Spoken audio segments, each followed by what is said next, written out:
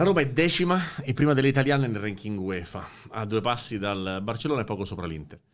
Ehm, questo perché? Perché da cinque anni, quel famoso Roma-Barcellona di cui parlavamo anche prima, la Roma è costantemente una top delle squadre italiane nel, nell'Europa. La Roma ha fatto semifinale di Champions League battendo il Barcellona nei, nei quarti, ha fatto la semifinale di Europa League due anni fa, ha fatto la finale di conference e l'ha vinta l'anno scorso e quest'anno in semifinale di Europa League ed è ben messa in vista del ritorno di Leverkusen. È una squadra che da anni è diventata europea.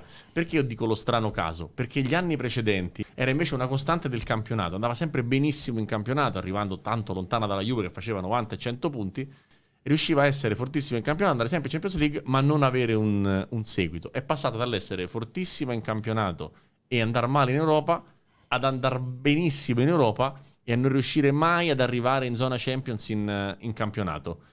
E io non capisco perché.